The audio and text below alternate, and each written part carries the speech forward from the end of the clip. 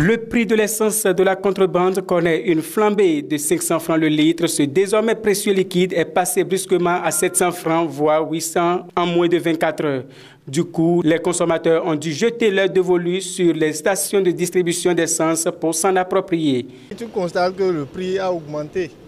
Donc si le prix augmente, on ne peut plus rester encore dans les vents. On ne peut que venir à la station là où c'est moins cher. Quoi. Vraiment, à la station, c'est un monde pléthorique. Hein vraiment pléthorique parce que euh, le prix de l'essence euh, dans la ville, vraiment, on ne, peut rien. Les stations de distribution d'essence ne disposent malheureusement pas de stock suffisant pour satisfaire la forte demande des consommateurs. Actuellement, c'est l'essence qui est, qui est disponible, mais ça vient de terminer compte tenu de l'affluence des clients et le prix aussi qui est un peu à la hausse la hausse du prix au niveau du Caillon.